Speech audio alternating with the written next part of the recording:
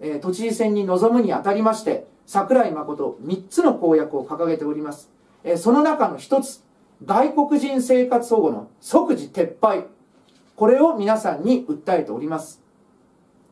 え、これをですね、訴えますとですね、多くの人たちが、多くの外国人が、なんてこと言うんだと、外国人に死ねというのかと。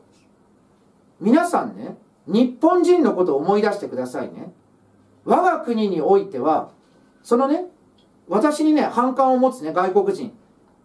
君たちは知らなかったと思うけれども、日本においては日本人が一番多いんですよ。で、その日本人が生活保護がもらえないと言って、私のね、福岡の、私のふるさと福岡で2人の人たちが餓死をいたしました。無理やり生活保護を打ち切られ、そしておにぎりが食べたいと書き残して餓死をする。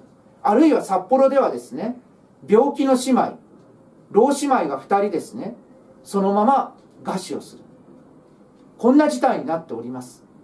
さて、外国人でね、生活保護がもらえないからといって、餓死をした、病死をした。こんな人間皆さんご存知ですか？知りませんよね。私だって知らないんですよ。そんなことがあれば、当然のことながら、あの朝日新聞様、毎日新聞様が黙っちゃいないんですよ。ガンガン書き立てるんですよ。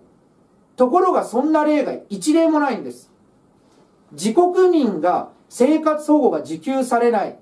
一方、外国人にはですね、手厚い保護をやっている。これが我が国の実態なんです。いや、それは国政の問題でしょ？という人もいるかもしれません。違うんです。生活保護というのは、4分の3は国が出し、4分の1が地方自治体が出しております。しかしながら、窓口は地方自治体なんですね。で、その地方自治体で、今ですね、どんどんどんどん生活保護率が上がってきておりますけれども、その地方自治体が窓口になっております。そのために、そのトップである都知事には止める権利があるんです。